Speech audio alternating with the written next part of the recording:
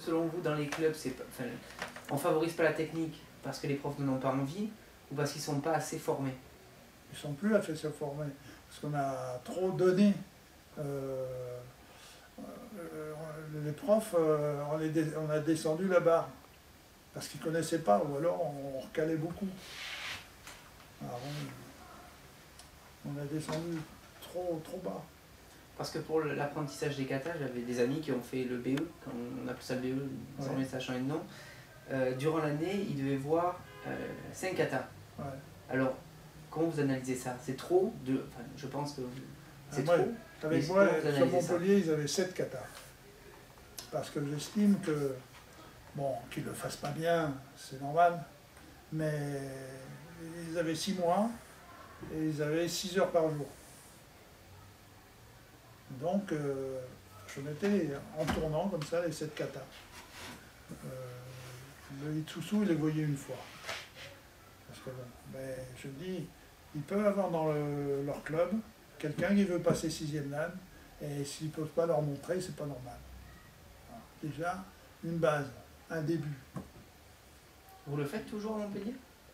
Non, mais c'est, ils ont arrêté de faire les BE ou les DE.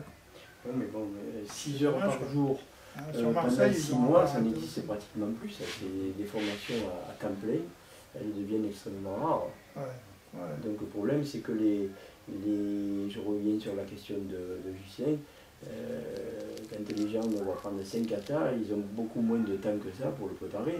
Donc à un moment donné, ça devient très compliqué Oui. parce que en club, Oui, ne font pas. On, on fait 3 heures dessus par semaine. 6 heures par semaine. Non, 6 heures par semaine.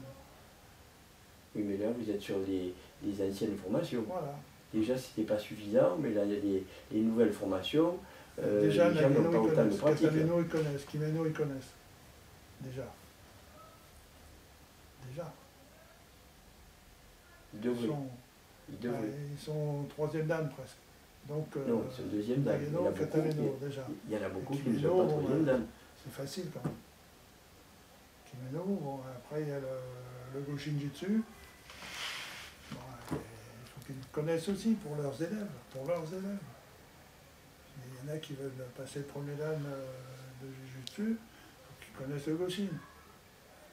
Moi je, vois ça comme ça. hein. Un prof doit savoir montrer. Par contre, ils sont trop jeunes. 18 ans, c'est pas un prof à 18 ans.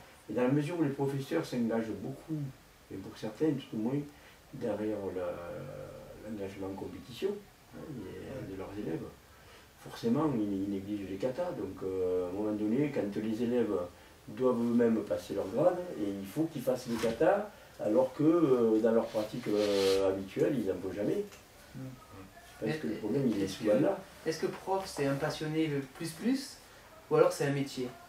C'est-à-dire est-ce qu'il faut professionnaliser vraiment pour avoir de bons profs ou alors c'est juste des personnes qui veulent faire ça en plus et donc qui ont moins de temps parce qu'ils ont besoin de vivre prof- professionnellement Bah oui, mais il faut pas. Vous voyez ce que je veux dire? C'est pas des... je, je comprends, oui. Mais bon, euh, on peut trouver des excuses toujours. hein. Mais moi, je dis, le gars qui s'engage en professeur de judo, bah, euh, il faut qu'il aime ça, il faut que, bah, il faut qu'il en mette euh, un peu du sien, quoi. Bah, c'est normal qu'on apprenne les katas, qu'on apprenne à ses élèves. Et les profs, maintenant, ils disent, Bon, tu veux voir un kata, va chez un tel. Je suis pas d'accord, on est capable de former son élève, moi. Je sais pas, moi. Enfin, moi, je vois ça. hein. Bon. Peut-être parce que j'ai eu la chance de, de suivre cette voie, de former les professeurs. Oui, mais dans la réalité, est-ce que c'est ça? Hein? Est-ce que c'est encore ça dans la réalité? Je veux dire, est-ce qu'il y a beaucoup Ouais. de profs qui sont capables de suivre leurs élèves sur euh, euh, et je pense qu'il devrait, plus, il plus devrait, le reste, hein. plus le reste. Je pense qu'il devrait. Il devrait avoir la volonté de le faire. Qui vous a inspiré? Comment? Dans le judo, qui vous a inspiré Vraiment Qui a permis en fait cette longévité? Bah, Je sais pas, moi. Personne?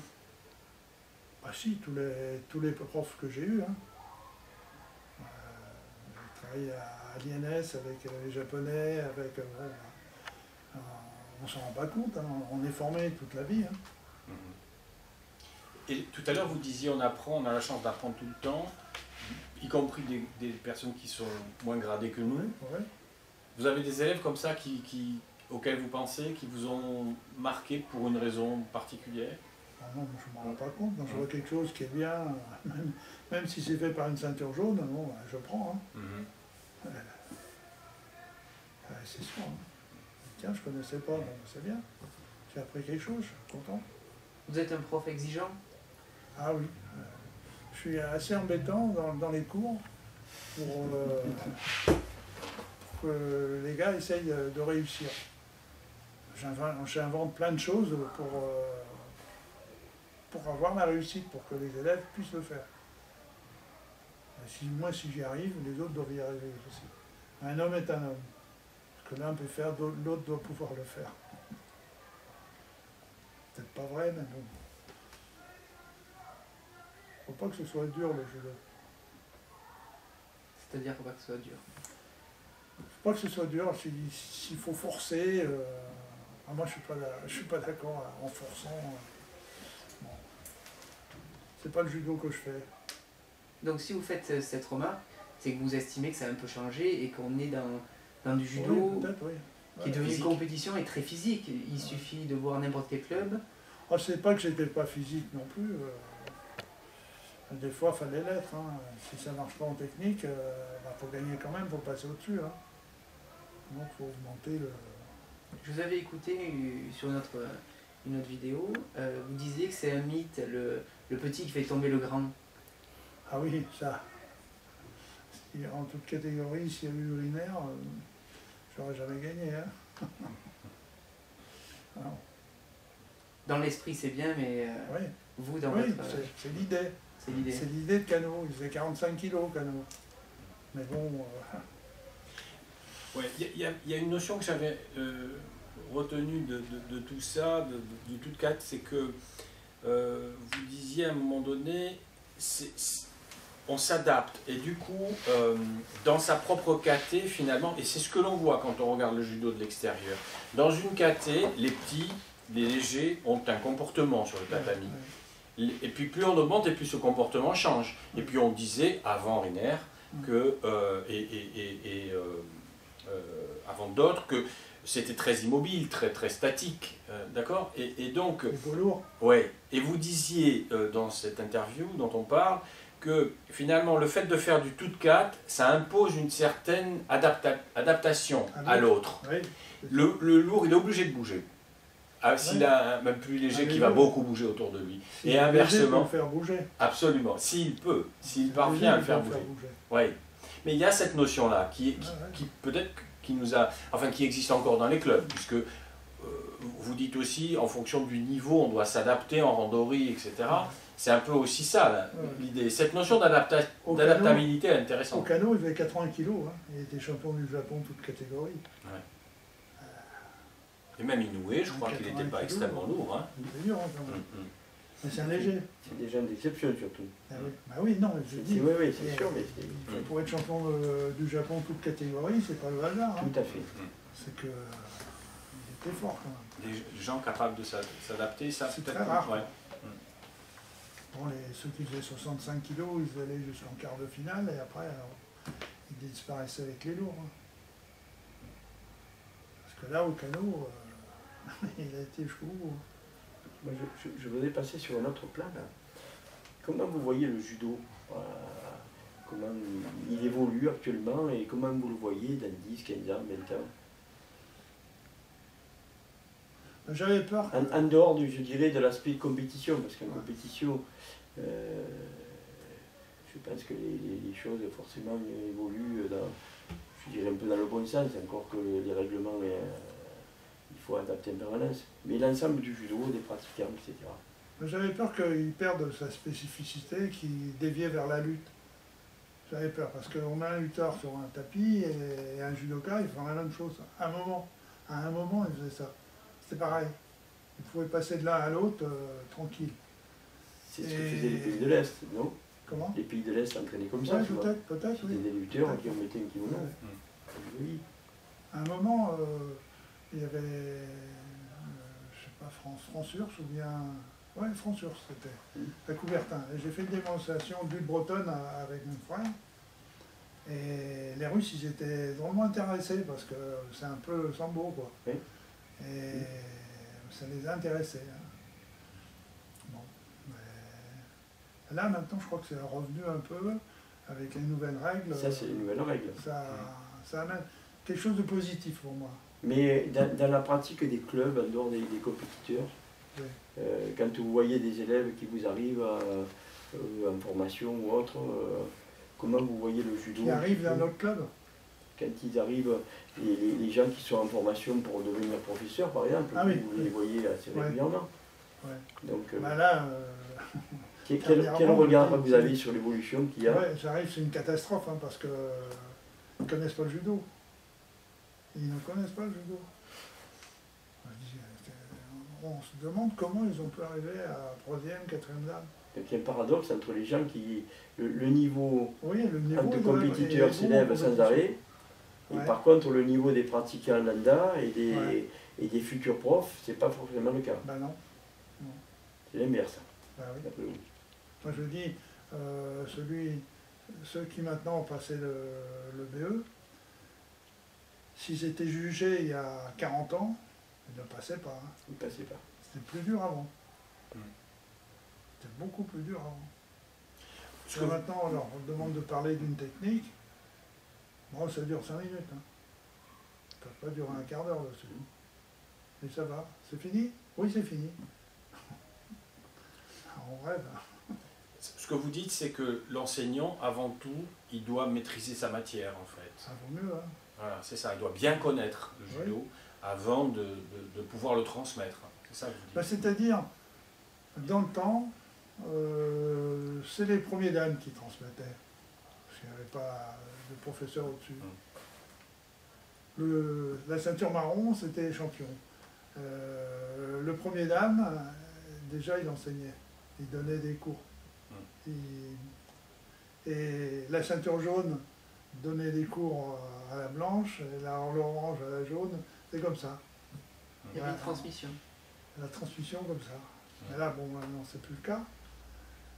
Mais Et c'est- moi, je me rappelle, oui. Ça veut dire que euh, la jaune qui transmet à la blanche, je pense que la jaune apprend aussi. Tout en, Ah oui. tout en, en transmettant, Oui, oui, mais elle apprend aussi. hein. oui, oui, Ouais. oui, c'est sûr. Les Elle stages a- enseignants, c'est une bonne chose, Et apprendre probablement. à apprendre. Moi, chez nous, chez nous au club, le, le prof il disparaissait. On avait un tableau, comme ça, là. Voilà, jujutsu. Il revenait cinq minutes après, judo. Et, et c'était un bon prof. Hein. Ah, c'est un bon prof, il m'a recalé sur la jaune. Si, si on avait autant de rigueur que ce qu'il y avait avant, est-ce qu'on aurait encore des profs suffisamment? Pourquoi? Il y Parce aurait qu'il y a- pas. mais Je sais pas, parce que Il y le- moins. dans, dans la, dans la mesure où euh, le, le niveau des, des- des prétendants à, à être professeur de judo diminue, si on avait la rigueur qu'on avait avant, il n'y aurait pas il y plus Il y en aurait peut-être plus. Plus? Ah oui Parce que si, par exemple, euh, on connaissait, ils connaissaient mieux le judo, euh, les cadets, ils arrêtent, pourquoi? Parce qu'ils sont plus les plus forts. Alors, où, où- où c'est que ça, là, où, où est la faille actuellement? Puisque on se rend compte que les gens qui veulent être profs, finalement, ils ne connaissent pas grand-chose. Voilà. Et Là, c'est là la faille. S'ils connaissaient beaucoup, ils auraient quelque chose à dire. voilà. Comme ils ne connaissent pas beaucoup, ils n'ont pas grand-chose à dire. Alors ils s'arrêtent très vite. Est-ce que c'est pas la génération des, des- des anciens professeurs qui a, qui a finalement... Ouais, Oh, les, les jeunes sont arrivés, à- arrivés on, va, on va démarrer. Ouais, ouais, ouais, d'accord. Je, je veux dire, il y a, il y a- il y a peut-être une génération qui a, qui a peut-être pas suffisamment euh, fait passer le message, Non, puisque non, les, professeurs qui arrivent... le donné euh, trop facilement.